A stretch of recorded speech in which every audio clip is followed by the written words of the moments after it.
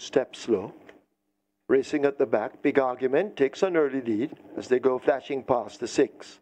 A Gone on the Grill and Sixth Avenue in pursuit. Prosecco, the grey is down against the rail. Morse code now picking up and are making gains as they go charging down the back stretch and leave the five. Genealogies on the outside of the grey Prosecco. Queen Adele races ahead of Maya.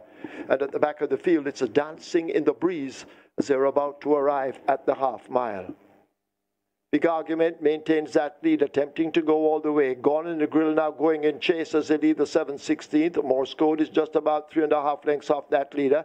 Genealogy has made progress as they run past the three in behind those and uh, beginning to make some progress at this stage. Uh, that appears to be 6th Avenue, but they're about to come into the lane. They're at the top of it and leave the quarter pole behind, and a big argument has that lead. Gone in the grill now taking aim and trying to close the gap as they run now toward the final furlong. It is a big argument out in front. Gone in the grill left seven or eight lengths back. Prosecco making late progress. Morse code is down against the rail, but it is a big argument out in front and traveling powerfully. Prosecco now beginning to make gains, but big argument looks to have stolen it. Big argument comes to the line, big argument will beat Prosecco by maybe two lengths.